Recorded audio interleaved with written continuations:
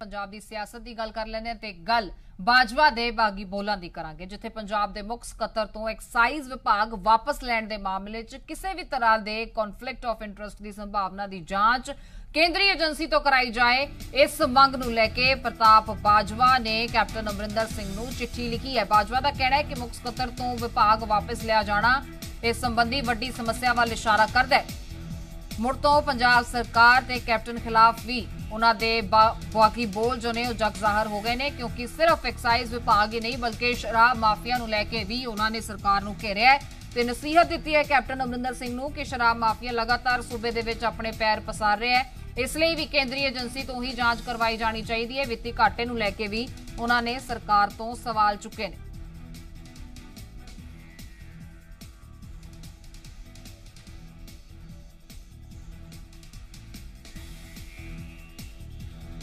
ਸੋ ਕੇਂਦਰੀ ਏਜੰਸੀ ਤੋਂ ਇਸ ਮਾਮਲੇ ਦੀ ਜਾਂਚ ਹੋਣੀ ਚਾਹੀਦੀ ਹੈ।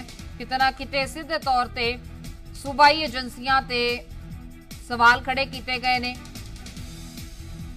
ਬੇਭਰੋਸਗੀ ਜਤਾਈ ਗਈ ਹੈ ਪ੍ਰਤਾਪ ਸਿੰਘ ਬਾਜਵਾ ਵੱਲੋਂ। ਹਾਲਾਂਕਿ ਇਹ ਕੋਈ ਪਹਿਲਾ ਮੌਕਾ ਨਹੀਂ ਹੈ। ਇਸ ਤੋਂ ਪਹਿਲਾਂ ਵੀ ਕਈ ਮੁੱਦਿਆਂ ਨੂੰ ਲੈ ਕੇ ਕੈਪਟਨ ਅਮਰਿੰਦਰ ਸਿੰਘ ਤੇ ਪ੍ਰਤਾਪ ਬਾਜਵਾ ਆਮੋ ਸਾਹਮਣੇ ਆ ਚੁੱਕੇ ਨੇ। ਪਰ ਇਸ ਵਾਰ ਜੋ ਮਾਮਲਾ ਹੈ, ਉਹ ਸੂਬੇ ਦੇ ਭਖ ਦੇ ਹਾਲਾਤਾਂ ਨੂੰ ਲੈ ਕੇ ਸੂਬੇ ਦੀ ਭਖ ਦੀ ਸਿਆਸਤ ਨੂੰ ਲੈ ਕੇ ਹੈ। ਕਿਉਂਕਿ ਇਹ ਮਾਮਲਾ ਲਗਾਤਾਰ ਵਿਰੋਧੀਆਂ ਵੱਲੋਂ ਵੀ ਚੁੱਕਿਆ ਜਾ ਰਿਹਾ ਹੈ।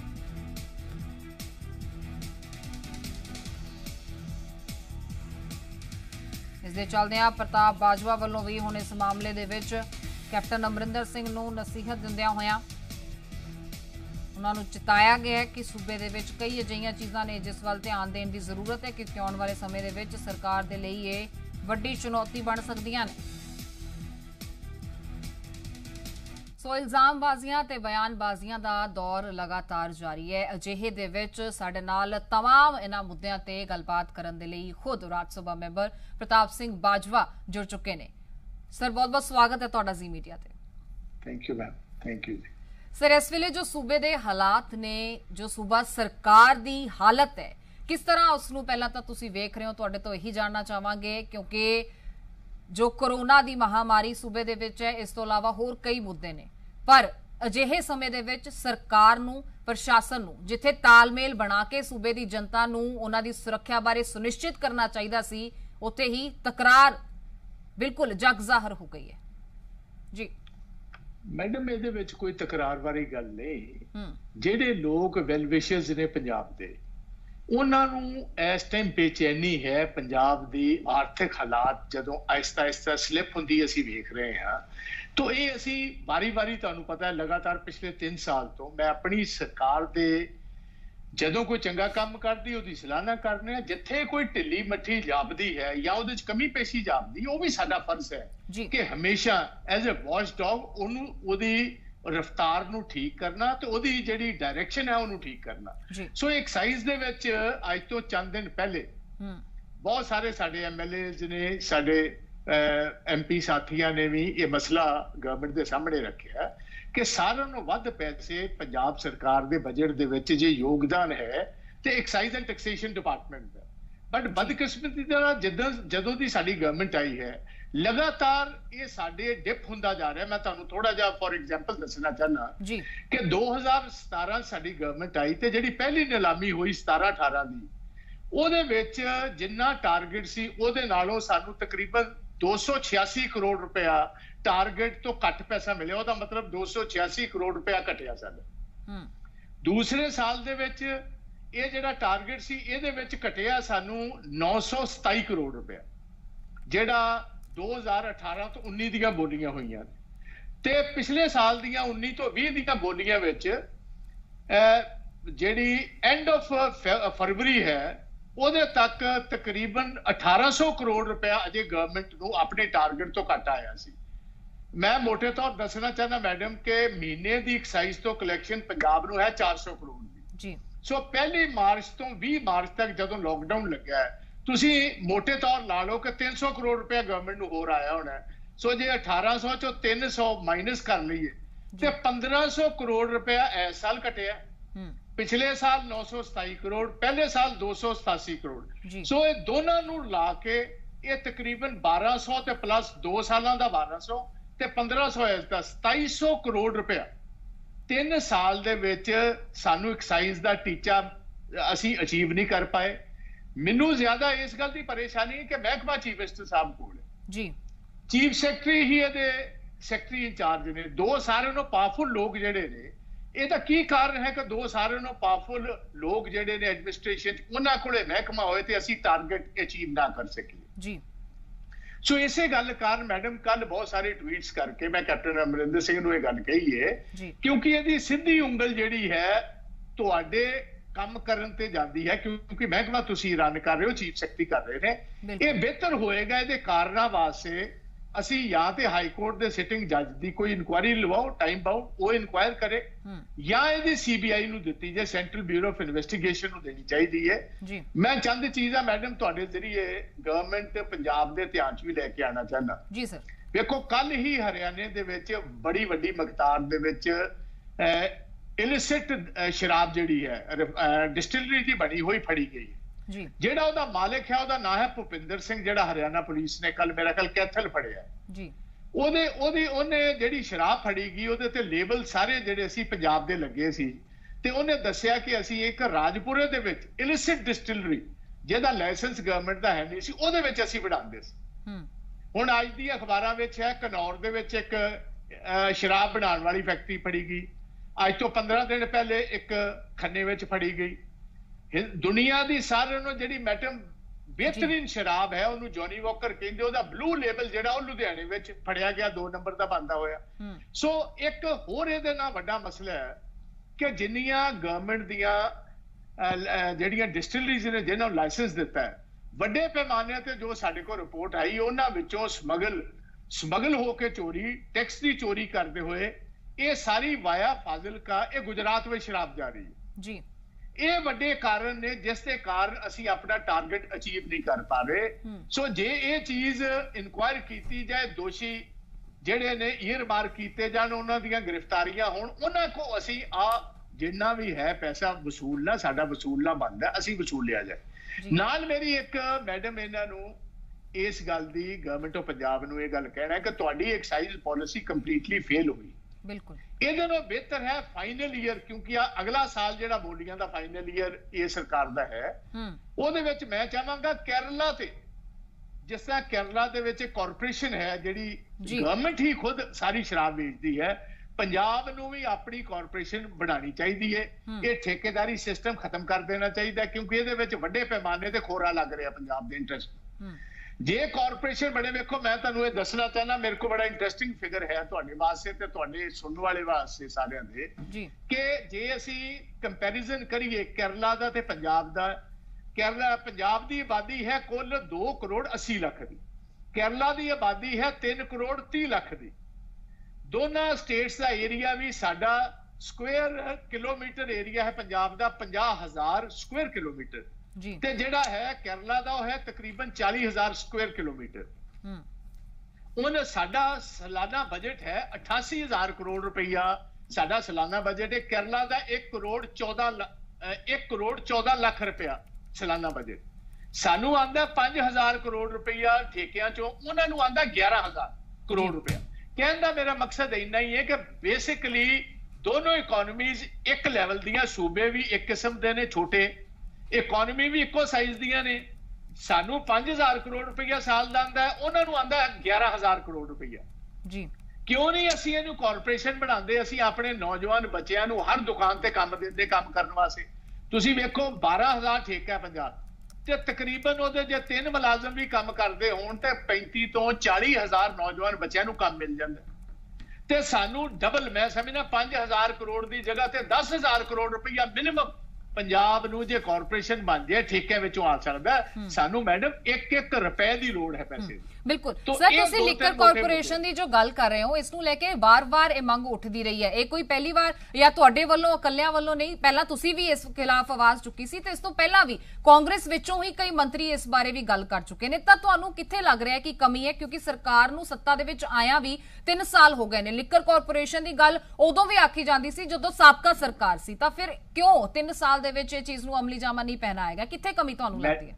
ਮੈਡਮ ਵੱਡੀ ਗੱਲ ਹੈ ਜਿਹੜੇ ਲਿਕਰ ਦੇ ਸ਼ਰਾਬ ਦੇ ਠੇਕੇਦਾਰ ਨੇ ਵੱਡੀਆਂ ਮਾਫੀਆਜ਼ ਨੇ ਇਹਨਾਂ ਦੀਆਂ ਬਾਹਾਂ ਬੜੀਆਂ ਲੰਬੀਆਂ ਨੇ। ਜੀ। ਸਰਕਾਰਾਂ ਨੂੰ ਪਾਲਿਸੀ ਬਦਲਣ ਵਾਸਤੇ ਬੜੇ ਵੱਡੇ ਤਰੱਦਦ ਦੀ ਲੋੜ ਹੈ। ਬੜੇ ਸਮਝੋ ਇੱਕ ਮੈਂ ਦ੍ਰਿੜ ਇਰਾਦੇ ਦੀ ਲੋੜ ਹੈ। ਜੇ ਇਰਾਦਾ ਦ੍ਰਿੜ ਹੋਏ ਤੇ ਨੀਅਤ ਨੇਕ ਹੋਏ ਤਾਂ ਸਾਰਾ ਕੁਝ ਹੋ ਸਕਦਾ ਜੀ। ਹੁਣ ਜੇ ਇਹ ਚੀਜ਼ ਨਹੀਂ ਹੋ ਰਹੀ ਉਹਦੇ ਵਿੱਚ ਉਹਦਾ ਮਤਲਬ ਹੈ ਜਿਹੜੀ ਅਸੀਂ ਗੱਲ ਦੀ ਇਨਕੁਆਇਰੀ ਕੀ ਕਰ ਰਹੇ ਹਾਂ। ਕਿ ਵੈਸਟਡ ਇੰਟਰਸਟ ਇਹਦੇ ਵਿੱਚ ਬੈਠੇ ਨੇ ਅਫਸਰਸ਼ਾਹੀ ਦੇ ਰੂਪ ਦੇ ਵਿੱਚ ਜਿਹੜੇ ਚੀਫ ਮਿਨਿਸਟਰ ਸਾਹਿਬ ਨੂੰ ਤੇ ਪੰਜਾਬ ਸਰਕਾਰ ਨੂੰ ਇਹ ਪਾਲਿਸੀ ਨੂੰ ਬਦਲਣ ਨਹੀਂ ਦੇ ਰਹੇ। ਜਾਂ ਤੇ ਆਪਣੀ ਪਰਫਾਰਮੈਂਸ ਬੈਟਰ ਕਰਨ ਜਾਂ ਤੇ 10000 ਕਰੋੜ ਰੁਪਇਆ ਠੇਕੇਦਾਰਾਂ ਤੋਂ ਲੈ ਦੇਣ ਫਿਰ ਵੀ ਅਸੀਂ ਗੱਲ ਕਹੀਏ ਕਿ ਕਿਸੇ ਕਾਰਪੋਰੇਸ਼ਨ ਦੀ ਲੋੜ ਨਹੀਂ। ਪਹਿਲੇ ਗੱਲ ਕਿਸੇ ਸਾਥੀ ਨੇ ਕੀਤੀ ਸੀ ਉਹਨੇ ਕਹੀ ਸੀ ਤਾਮਿਲਨਾਡੂ ਦੇ ਬੇਸ ਤਾਮਿਲਨਾਡੂ ਵੀ ਸਾਰੀ ਕਾਰਪੋਰੇਸ਼ਨ ਖੁਦ ਚਲਾਉਂਦਾ ਹੈ। ਕੇਰਲਾ ਵੀ ਚਲਾਉਂਦਾ ਮੈਂ ਕੇਰਲਾ ਦਾ ਤਾਂ ਕਿਹਾ ਕਿ ਕੇਰਲਾ ਤੇ ਪੰਜਾਬ ਦੀ ਇਕਨੋਮੀਜ਼ ਦਾ ਸਾਈਜ਼ ਇੱਕ ਬਰਾਬਰ ਹੈ।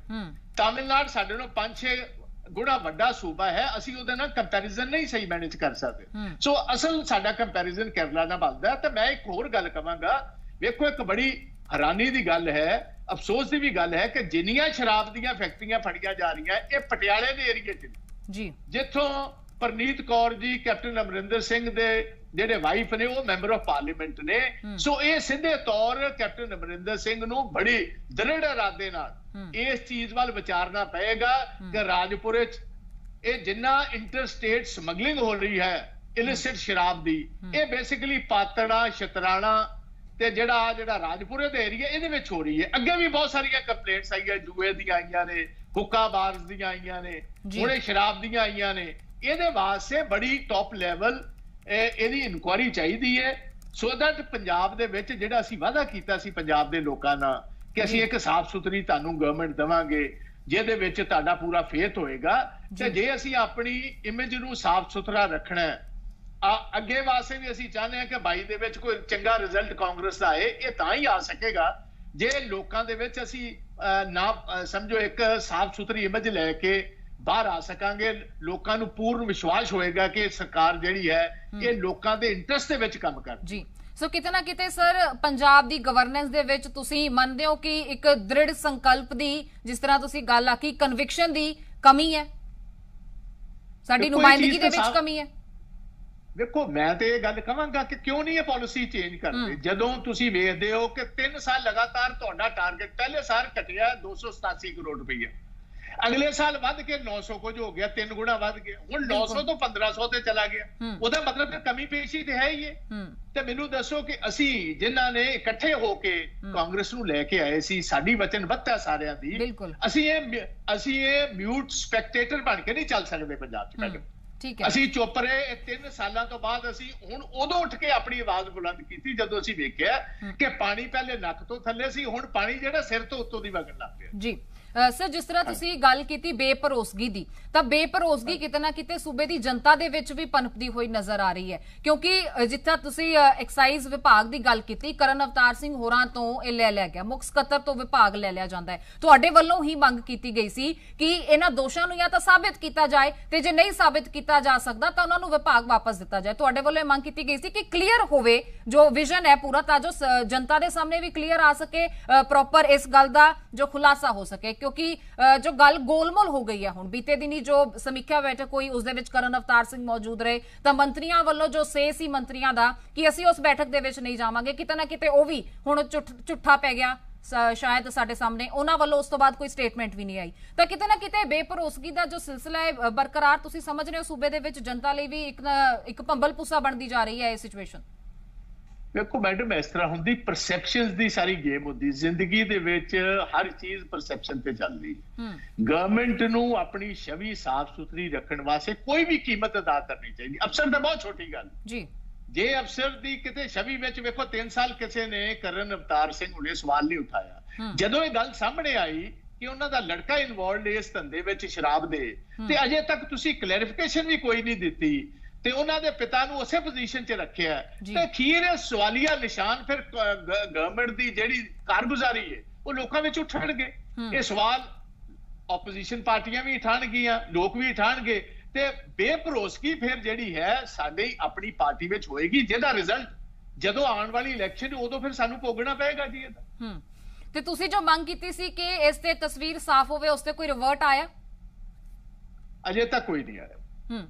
ਤੇ ਸਰ ਇਸ ਤਰ੍ਹਾਂ ਦੀ ਤਸਵੀਰ ਜਦੋਂ ਸੂਬੇ ਦੇ ਵਿੱਚ ਬਣਦੀ ਹੈ, ਜਿਸ ਤਰ੍ਹਾਂ ਤੁਸੀਂ ਵਿਰੋਧੀਆਂ ਦਾ ਵੀ ਜ਼ਿਕਰ ਕੀਤਾ, ਤਾਂ ਸ਼੍ਰੋਮਣੀ ਅਕਾਲੀ ਦਲ ਵੱਲੋਂ ਬੀਤੇ ਦਿਨੀ ਬੜੀ ਸਟਰੋਂਗਲੀ ਮੈਂ ਕਹਾਂਗੀ ਕਿ 5600 ਕਰੋੜ ਦੇ ਘਾਟੇ ਦੀ ਗੱਲ ਆਖੀ ਗਈ ਲਿਕਰ ਮਾਫੀਆ ਨੂੰ ਲੈ ਕੇ। ਉਸ ਤੋਂ ਬਾਅਦ ਹਜ਼ਾਰਾਂ ਕਰੋੜ ਦੇ ਘਾਟੇ ਦੀ ਗੱਲ ਉਹਨਾਂ ਨੇ ਮਾਈਨਿੰਗ ਮਾਫੀਆ ਨੂੰ ਲੈ ਕੇ ਆਖੀ। ਕਿਉਂ? ਇਸ ਦੇ ਵੇਲੇ ਜਦੋਂ ਸੂਬੇ ਦੇ ਵਿੱਚ ਲੋਕਡਾਊਨ ਹੈ, ਸੂਬੇ ਦੇ ਵਿੱਚ ਕਰਫਿਊ ਹੈ, ਜਾਇਜ਼ ਦੁਕਾਨਾਂ ਸਾਡੀਆਂ ਨਹੀਂ ਖੁੱਲ ਰਹੀਆਂ, ਜਾਇਜ਼ ਜੋ ਬਿਜ਼ਨਸ ਨੇ ਉਹ ਨਹੀਂ ਚੱਲ ਰਹੇ, ਨਜਾਇਜ਼ ਮਾਈਨਿੰਗ ਕਿਸ ਤਰ੍ਹਾਂ ਪੋਸੀਬਲ ਹੈ ਸਰ ਸੂਬੇ 'ਚ? ਮੈਡਮ ਇਸ ਤਰ੍ਹਾਂ ਹੈ ਇਹ ਜਿਹੜੀ ਜਿੰਨੇ ਵੀ ਮਾਫੀਆਜ਼ ਨੇ ਪੰਜਾਬ ਦੇ ਵਿੱਚ ਭਾਵੇਂ ਲਿਕਰ ਮਾਫੀਆ ਮਾਈਨਿੰਗ ਮਾਫੀਆ ਹੂੰ। ਇਹਦੇ ਵਿੱਚ ਡਰੱਗ ਮਾਫੀਆ ਜੀ। ਇਹਦੇ ਵਿੱਚ ਤੁਹਾਡਾ ਕੇਬਲ ਨੈਟਵਰਕ ਦਾ ਮਾਫੀਆ ਟਰਾਂਸਪੋਰਟ ਦਾ ਮਾਫੀਆ ਇਹ ਸਾਰਿਆਂ ਦਾ ਨੀਂਹ ਪੱਥਰ ਜਿਹੜੀ ਇਹਦੀ ਸ਼ੁਰੂਆਤ ਅਕਾਲੀ ਦਲ ਨੇ ਕੀਤੀ। ਜੀ। ਮੈਂ ਤੇ ਅਕਾਲੀ ਦਲ ਦੇ ਲੀਡਰਸ ਨੂੰ ਇਹ ਚੈਲੰਜ ਕਰਨਾ ਕਿ ਲਿਕਰ ਬਾਰੇ ਤੁਸੀਂ ਅੱਜ ਸ਼ਰਾਬ ਦੀ ਗੱਲ ਕਰ ਰਹੇ ਹੋ ਜਾਂ ਤੁਸੀਂ ਰੇਤ ਮਾਈਨਿੰਗ ਦੀ ਕਰ ਰਹੇ ਹੋ? ਰੇਤ ਮਾਈਨਿੰਗ ਦੇ ਵਿੱਚ ਉਹੀ ਲੋਕ ਨੇ ਜਿਹੜੇ ਤੁਹਾਡੇ ਬਣਾਏ ਹੋਏ ਸੀ। ਤੁਸੀਂ ਨਾਂ ਲਓ ਇੱਥੇ। ਇਹ ਨਾਂ ਕਿਉਂ ਨਹੀਂ ਲੈਂਦੇ? ਲਿਕਰ ਮਾਫੀਆ ਨੂੰ ਕੌਣ ਲੀਡ ਕਰ ਰਿਹਾ? ਰੇਤ ਮਾਫੀਆ ਨੂੰ ਲੀਡ ਕੌਣ ਕਰ ਰਿਹਾ? ਕੀ ਅਕਾਲੀ ਦਲ ਦੇ ਲੀਡਰ ਉਹਨਾਂ ਦੇ ਨਾਂ ਨਹੀਂ ਜਾਣਦੇ?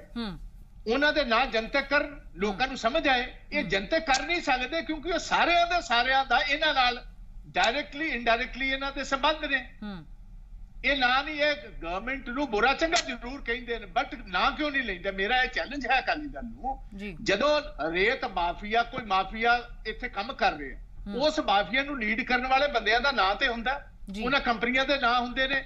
ਕਿਰਪਾ ਕਰਕੇ ਲੋਕਾਂ ਨੂੰ ਜ਼ੰਗਜ਼ਾਰ ਕਰਨ ਕਿ ਆਹ ਬੰਦੇ ਨੇ ਜੀ ਜਿਹੜੇ ਇਸ ਟਾਈਮ ਮਾਈਨਿੰਗ ਦਾ ਕੰਮ ਕਰ ਰਹੇ ਆਹ ਬੰਦੇ ਜਿਹੜੇ ਸ਼ਰਾਬ ਦੇ ਬੈਨੀਫਿਟ ਲੈ ਰਹੇ ਨੇ ਕਿਹੜੇ ਬੰਦੇ ਨੇ ਜਿਹੜੇ ਆਪਣੀਆਂ ਡਿਸਟਿਲਰੀਆਂ ਚੋਂ 2 ਨੰਬਰ ਦੀ ਸ਼ਰਾਬ ਸੇਲ ਟੈਕਸ ਦੀ ਚੋਰੀ ਕਰਕੇ ਗੁਜਰਾਤ ਦੇ ਵਿੱਚ ਵਾਇਆ ਫਾਜ਼ਿਲਕਾ ਭੇਜ ਰਹੇ। ਨੇ ਦੱਸ ਦੱਸਣ ਅਕਾਲੀ ਦਲ ਵਾਲੇ ਇਹਨਾਂ ਨੂੰ ਇੱਕ ਇੱਕ ਬੰਦੇ ਦਾ ਨਾਂ ਪਤਾ।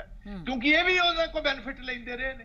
ਇਹੀ ਆ ਮਾਈਨਿੰਗ ਦੇ ਵਿੱਚ ਹੈ। ਮਾਈਨਿੰਗ ਵਾਲਿਆਂ ਦਾ ਨਾਂ ਕਿਉਂ ਨਹੀਂ ਲੈਂਦੇ? ਜੀ। ਮੈਂ ਪੁੱਛਣਾ ਨੇੜੇ ਗੋਲ-ਮੋਲ ਗੱਲ ਕਰਨ ਨਾਲੋਂ ਸਿੱਧੇ ਤੌਰ ਨਾਂ ਲੈਣ ਬੰਦਿਆਂ ਦਾ ਨਾਂ ਦੱਸਣ ਲੋਕਾਂ ਨੂੰ ਪਤਾ ਲੱਗੇ ਕਿ ਆਦਮੀ ਕੌਣ ਨੇ ਜੀ। ਇਹਨਾਂ ਨੂੰ ਪਤਾ ਸਾਰਾ ਕੁਝ। ਜੇ ਪੰਜਾਬ ਦੇ ਲੋਕਾਂ ਨਾਲ ਇਮਾਨਦਾਰ ਨੇ ਅਕਾਲੀ ਦਲ ਵਾਲੇ ਇਹਨਾਂ ਨੂੰ ਕਹੋ ਇਹ ਦੋਨੋਂ ਮਾਫੀਆ ਦੇ ਨਾਂ ਦੱਸਣ। ਤੀਜਾ ਕੇਬਲ ਕੌਣ ਕੇਬਲ ਮਾਫੀਆ ਕੌਣ ਰਨ ਕਰ ਰਿਹਾ ਉਹਦੇ ਨਾਮ ਹੀ। ਦੱਸਣ ਇਹ ਜਿਹੜਾ ਡਰੱਗ ਮਾਫੀਆ ਸੀ ਜਿਹੜਾ ਉਦੋਂ ਜਗਦੀਸ਼ ਸਿੰਘ ਭੋਲੇ ਨੇ ਨਾਂ ਲਿਆ ਸੀ ਉਹਦਾ ਵੀ ਦੱਸਣ ਕਿ। ਕੌਣ ਸਰਗਨਾ ਸਨ ਉਹ ਸਾਰੀ ਗੱਲ ਦੇ। ਟਰਾਂਸਪੋਰਟ ਦਾ ਵੱਡਾ ਮਾਫੀਆ ਜਿਹੜਾ ਪੰਜਾਬ ਚੱਲ ਰਿਹਾ। ਕਿਹੜੇ ਕਾਬਜ਼ ਨੇ ਟਰਾਂਸਪੋਰਟ ਤੇ? ਅਕਾਲੀ ਦਲ ਵਾਲੇ ਕਿਰਪਾ ਕਰਕੇ ਉਹਨਾਂ ਦਾ ਵੀ ਨਾਂ ਜਨਤਕ ਕਰਨ ਲੋਕਾਂ ਨੂੰ ਸਮਝ ਤੇ ਆਏ ਕਿ ਗੱਲ ਮੈਂ ਕੀ ਕਹਿ ਰਿਹਾ? ਠੀਕ ਹੈ। ਠੀਕ ਹੈ। ਪਰ ਬਾਜਵਾ ਸਾਹਿਬ, ਉਹ ਕਹਿੰਦੇ ਨੇ ਕਿ ਤੁਸੀਂ ਸਾਡੇ ਤੇ ਇਲਜ਼ਾਮ ਲਗਾਉਨੇ ਹੋ। ਠੀਕ ਹੈ। ਇਹ ਵੀ ਉਹਨਾਂ ਨੇ ਬਿਆਨ ਦਿੱਤੇ ਕਿ ਤੁਸੀਂ 90% ਸਾਡੇ ਤੇ ਇਲਜ਼ਾਮ ਲਗਾਉਂਦੇ ਹੋ 100% ਲਗਾ ਲਓ। ਪਰ ਅਸੀਂ ਤਾਂ ਤੁਹਾਨੂੰ ਫ੍ਰੀ ਹੈਂਡ ਦਿੱਤਾ ਹੋਇਆ ਤੁਸੀਂ ਕਿਉਂ ਨਹੀਂ ਇਹਨਾਂ ਚੀਜ਼ਾਂ ਤੇ ਕਾਬੂ ਪਾ ਲਿਆ? 3 ਸਾਲ ਤੁਹਾਡੀ ਸਰਕਾਰ ਨੂੰ ਵੀ ਹੋ ਗਏ ਨੇ। ਸ਼੍ਰੋਮਣੀ ਅਕਾਲੀ ਦਲ ਦਾ ਵਾਰ-ਵਾਰ ਇਹ ਪੱਖ ਸਾਹਮਣੇ ਆਉਂਦਾ ਰਹਿੰਦਾ ਹੈ ਕਿ ਚਾਹੇ ਸ਼ਰਾਬ ਮਾਫੀਆ ਦੀ ਗੱਲ ਹੋਵੇ, ਕੇਬਲ ਮਾਫੀਆ ਦੀ ਗੱਲ ਹੋਵੇ, ਤਾਂ ਅਸੀਂ ਟਰਾਂਸਪੋਰਟ ਮਾਫੀਆ ਦੀ ਗੱਲ ਕਰ ਲਈਏ। ਉਹਨਾਂ ਦਾ ਕਹਿਣਾ ਹੈ ਕਿ ਕਾਂਗਰਸ ਸਿਰਫ ਇਲਜ਼ਾਮਬਾਜ਼ੀਆਂ ਕਰ ਰਹੀ ਹੈ। ਕਾਂਗਰਸ ਨੂੰ 3 ਸਾਲ ਦਾ ਸਮਾਂ ਹੋ ਗਿਆ ਕਿਉਂ ਨਹੀਂ ਜੋ ਫੜ ਕੇ ਲੋਕ ਜੇਲ੍ਹਾਂ ਦੇ ਵਿੱਚ ਕਰ ਦਿੱਤੇ ਗਏ, ਜਿਸ ਤਰ੍ਹਾਂ ਦੇ ਵਾਅਦੇ ਕੀਤੇ ਗਏ ਸਨ ਸੱਤਾ ਚ ਆਉਣ ਤੋਂ ਪਹਿਲਾਂ? ਇਹ ਮੈਡਮ ਮੈਨੂੰ ਜੋ ਇਹ ਪੁਲ ਪੁਲ ਦਾ ਇਸਤੇਮਾਲ ਮੇਰੇ ਕੋਲ ਲੈਣਾ ਚਾਹੁੰਦੇ ਨੇ ਜਾਂ ਮਿਲਟਰੀ ਵਾਲੇ ਜਦੋਂ ਵੱਡਾ ਪੁਲ ਟੁੱਟ ਜੇ ਆਰਮੀ ਦਾ ਉਹ ਕੱਚੇ ਪੁਲ ਲਾ ਲੈਂਦੇ ਨੇ। ਇਹ ਸਿੱਧੀ ਗੱਲ ਇਹ ਜਿਹੜੀ ਸਰਕਾਰ ਦੇ ਵਿੱਚ ਇਸ ਟਾਈਮ ਹਾਕਮ ਬੈਠੇ ਨੇ ਉਹ ਇਹਦਾ ਜਵਾਬ ਦੇਣ ਅਕਾਲੀ ਦਲ ਵਾਲੇ ਜਿਹੜੀ ਗੱਲ ਕਹਿੰਦੇ ਨੇ। ਜੀ। ਹਾਕਮ ਜਿਹੜੇ ਸੁਣ ਰਹੇ ਨੇ ਵੇਖੋ ਮੈਂ ਤੇ ਇਸ ਪੋਜੀਸ਼ਨ 'ਚ ਹੀ ਹੈ ਨਹੀਂ ਮੈਂ ਤੇ ਆਪ ਅਪੀਲ ਕਰਨਾ ਲੋਕਾਂ ਦੀ ਰੋਜ਼ ਗੱਲ ਜਿਹੜੀ ਹੈ ਉਹ ਸਰਕਾਰ ਦੇ ਸਾਹਮਣੇ ਰੱਖਣਾ। ਹਾਂਜੀ। ਇਹ ਗੱਲ ਤੇ ਸਰਕਾਰ ਨੂੰ ਸਿੱਧੇ ਤੌਰ ਅਕਾਲੀ ਦਲ ਜਿਹੜੀ ਇਹ ਗੱਲ ਕਹਿ ਰਹੀ ਹੈ ਜਵਾਬ ਦੇ ਜੇ ਇਹਨਾਂ ਨੂੰ ਹੱਥ ਪਾਲਿਆ ਹੁੰਦਾ ਮਾਫੀਆ ਡਿਸਮੈਂਟਲ ਕਰਤੇ ਹੁੰਦੇ ਤੇ ਅਕਾਲੀ ਦਲ ਦਾ ਹੁਣ ਜਿਹੜਾ ਥੋੜਾ ਮੋਟਾ ਚਿਹਰਾ ਮੋਰੇ ਵੀ ਖਤਮ ਹੋ ਜਾਣਾ ਸੀ। ਜੀ। ਜੇ ਅੱਜ ਜਿਉਂਦੇ ਨੇ ਥੋੜਾ ਮੋਟਾ ਅਜੇ ਵੀ ਇਹਨਾਂ ਵਿੱਚ ਸਾਹ ਸੱਤ ਹੈ। ਇਸੇ ਗੱਲ ਦਾ ਸਾਹ ਸੱਤ ਹੈ ਕਿ ਅਜੇ ਤੱਕ ਅਸੀਂ ਇਹਨਾਂ ਨੂੰ ਹੱਥ ਨਹੀਂ ਪਾਇਆ। ਇਹਨਾਂ ਨੂੰ ਹੱਥ ਪਾਣਾ ਚਾਹੀਦਾ। ਇਹਨਾਂ ਦੇ ਮਾਫੀਆ ਜਿਹੜੇ ਡਿਸਮੈਂਟਲ ਕਰਨੇ ਚਾਹੀਦੇ ਨੇ। ਇਹ ਤੇ ਸਾਰਾ ਕੁਝ ਹੋਏਗਾ ਇਹਨਾਂ ਦੇ ਨਾਂ ਸਾਹਮਣੇ ਆ ਜਾਣਗੇ ਬਿਲਕੁਲ। ਸਰ ਗਵਰਨਮੈਂਟ ਦੇ ਅਕਾਊਂਟ ਦੀ ਗੱਲ ਕਰੀਏ ਤਾਂ ਰੈਵਨਿਊ ਟਾਰਗੇਟਸ ਨੂੰ ਲੈ ਕੇ ਕਿਹਾ ਜਾ ਰਿਹਾ ਸੀ ਕਿ ਵਿੱਤੀ ਘਾਟਾ ਹੋਇਆ ਜੋ ਟਾਰਗੇਟਸ ਨੇ ਅਸੀਂ ਅਚੀਵ ਨਹੀਂ ਕਰ ਸਕੇ। ਹਾਲਾਂਕਿ ਕੈਪਟਨ ਅਮਰਿੰਦਰ ਸਿੰਘ ਨੇ ਖੁਦ ਕਿਹਾ ਕਿ ਇਸ ਤਰ੍ਹਾਂ ਦੀ ਕੋਈ ਗੱਲ ਨਹੀਂ ਹੈ ਇਸ ਤਰ੍ਹਾਂ ਦਾ ਕੋਈ ਘਾਟਾ ਨਹੀਂ ਹੋਇਆ। ਤਾਂ ਕੌਣ ਝੂਠ ਬੋਲ ਰਿਹਾ ਹੈ? ਉਹ ਅਕਾਊਂਟਸ ਝੂਠ ਬੋਲ ਰਹੇ ਨੇ ਜਾਂ ਸੂਬੇ ਦੇ ਮੁੱਖ ਮੰਤਰੀ? ਮੈਂ- ਮੈਡਮ ਮੈਂ ਇਸ ਗੱਲ ਤੇ ਕਿਹਾ ਮੈਂ ਤਾਂ ਤੁਹਾਡੇ ਸਾਹਮਣੇ ਪੰਜਾਬ ਦੀ ਅਕਾਊਂਟਸ ਦੀ ਸਟੇਟਮੈਂਟ ਰੱਖ ਦਿੱਤੀ। ਤਾਂ ਹੀ ਤਾਂ ਮੈਂ ਕਹਿ ਰਿਹਾ ਕਿ ਜੇ ਗਲਤ ਬਿਆਨੀ ਹੈ ਤੇ ਇਹਦੀ ਕੋਈ ਵਾਈਟ ਪੇਪਰ ਜਾਰੀ ਕਰੋ। ਕਿਸੇ ਜੱਜ ਦੀ ਡਿਊਟੀ ਲਾਓ। ਕੋਈ ਸਿਟਿੰਗ ਜੱਜ ਹਾਈ ਕੋਰਟ ਦਾ ਬੈਠੇਗਾ ਇੱਕ ਮਹੀਨੇ ਵਿੱਚ ਉਹ ਫਿਗਰਸ ਵੀ ਦੇ ਦੇਗਾ ਤੁਹਾਨੂੰ ਸਾਰੀਆਂ। ਜੀ। ਅਸੀਂ ਉਹਨਾਂ ਤੱਕ ਹੀ ਲੈਵਾਂਗੇ ਕਿ ਫਿਗਰਸ ਵੀ ਦੋ ਸਹੀ ਚ ਕੀ ਨੇ। ਜਿਹੜੇ ਮੈਂ ਇਹ ਇਲਜ਼ਾਮ ਲਗਾਇਆ ਇਸ ਦਾ ਖੰਡਨ ਕੀਤਾ ਜਾਏ ਸਹੀ ਫਿਗਰਸ ਦਿੱਤੀਆਂ ਜਾਣ। ਠੀਕ ਹੈ। ਮੈਂ ਤਾਂ ਤੁਹਾਨੂੰ ਦੱਸ ਦਿੱਤਾ ਮੇਰੇ ਕੋਲ ਕੰਪਲੀਟ ਫਿਗਰਸ ਹੈ ਨੇ। ਜਿੱਦਣ ਕੋਈ ਆਏਗਾ ਮੈਂ ਅਗਲੀ ਫਿਗਰ ਵੀ ਦੇ ਦੇਵਾਂਗਾ। ਜੀ ਕਿ ਬਿਲਕੁਲ ਟੋਟਲ ਟਾਰਗੇਟ ਕੀ ਸੀ ਬੋਲੀ ਕਿੰਨੇ ਦੀ ਹੋਈ ਸੀ ਤੇ ਕਿੰਨੇ ਪੈਸੇ ਘੱਟ ਆਏ ਨੇ। ਹੂੰ। ਆ ਜਿਹੜਾ ਮੈਂ ਟਾਰਗੇਟ ਇਹ ਦੱਸਿਆ ਇਹ ਦੱਸਿਆ ਕਿ ਜਿੰਨਾ ਟਾਰਗੇਟ ਸੀ ਟਾਰਗੇਟਸ ਤੋਂ ਪੈਸੇ ਕਿੰਨੇ ਘਟ ਆਏ? ਘਟਾ ਉਹਨੂੰ ਹੀ ਕਿਹਾ ਜਾ ਸਕਦਾ ਜੀ। ਬਿਲਕੁਲ ਜ਼ਰੂਰਤ ਹੈ ਇਸ ਵੇਲੇ ਸਰਕਾਰ ਨੂੰ ਇਸ ਤੇ ਆਪਣਾ ਪੱਖ ਸਾਫ਼ ਕਰਨ ਦੀ ਕਿਉਂਕਿ ਜੋ ਟਾਰਗੇਟਸ ਵਿਰੋਧੀ ਪੇਸ਼ ਕਰ ਰਹੇ ਨੇ ਉਹ ਟਾਰਗੇਟਸ ਸਰਕਾਰ ਦੇ ਵਿਰੋਧ ਦੇ ਵਿੱਚ ਨੇ ਤੇ ਜੇ ਸਰਕਾਰ ਜਨਤਾ ਦੇ ਪੱਖ ਦੇ ਵਿੱਚ ਹੈ ਤਾਂ ਸਾਬਤ ਕਰੇ ਕਿ ਜਨਤਾ ਦੇ ਪੱਖ ਦੇ ਵਿੱਚ ਹੈ। ਬੇहद ਲਾਜ਼ਮੀ ਹੈ ਇਸ ਵੇਲੇ ਤੇ ਸਮੇਂ ਦੀ ਮੰਗ ਵੀ। ਬਹੁਤ-ਬਹੁਤ ਧੰਨਵਾਦ ਪ੍ਰਤਾਪ ਸਿੰਘ ਬਾਜਵਾ ਜੀ ਤੁਸੀਂ ਸਾਡੇ ਨਾਲ ਜੁੜੇ ਇਸ ਖਾਸ ਚਰਚਾ ਦੇ ਵਿੱਚ ਤੇ तमाम ਸਵਾਲਾਂ ਦਾ ਬੜੀ ਬੇਵਾਕੀ ਦੇ ਨਾਲ ਸਟੀਕ ਜਵਾਬ ਤੁਸੀਂ ਦਿੱਤਾ। ਬਹਿਰਾਲ, ਇਸ ਚਰਚਾ ਦੇ ਵਿੱਚ ਇੰਨਾ ਹੀ। ਤੁਸੀਂ ਬਣੇ ਰਹੋ ਜ਼ੀ ਮੀਡੀਆ ਦੇ ਨਾਲ ਤੇ ਮੈਨੂੰ ਨੁਮਰਤਾ ਨੂੰ ਦਿਓ ਇਜਾਜ਼ਤ। ਸਤਿ ਸ਼੍ਰੀ ਅਕਾਲ।